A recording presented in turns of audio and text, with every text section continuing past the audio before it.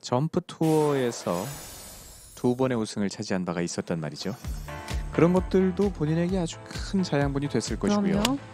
일단 우승 경험이 있다는 것, 크고 네. 작은 규모를 떠나서 그 경쟁에서의 승을 했다는 건 기억 속에 저장이 돼 있습니다. 아. 승부사 기질이 있다는 거거든요.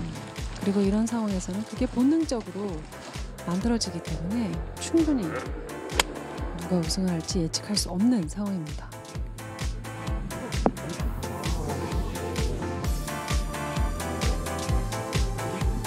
연장 1차전 두 선수는 승부를 결정짓지 못했습니다. I don't think it even got to the top. Did it?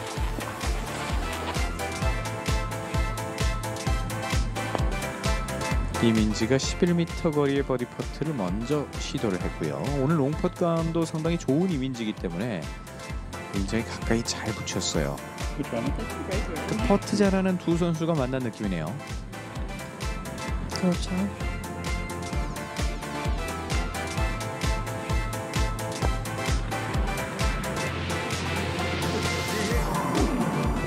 아, 이것도 아슬아슬했어요. 네. 들어가는 줄 알았어요. 네. 송가은은 올 시즌에 5위만 세 차례를 기록했던 것이 가장 좋은 성적이었단 말이에요. 자, 그랬던 선수가 이렇게 우승 경쟁을 하면서 전혀 위축되지 않고 아주 담대하게 플레이를 보여주고 있습니다. 마지막에 5위를 기록했던 것이 지난 8월에 있었던 한화 클래식 메이저 대회에서의 기록이었고 큰 대회에서 아주 강한 면모를 보여주네요.